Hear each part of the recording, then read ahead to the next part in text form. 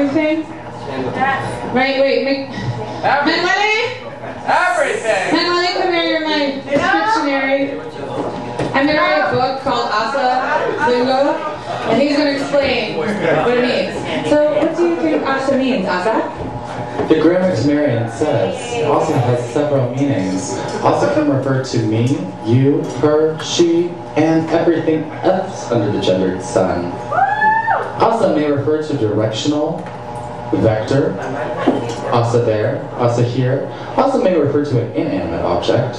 Asa may refer to a state of mind. Asa may- refer to an emotion that you may have just had, a moment of inspiration. And that is also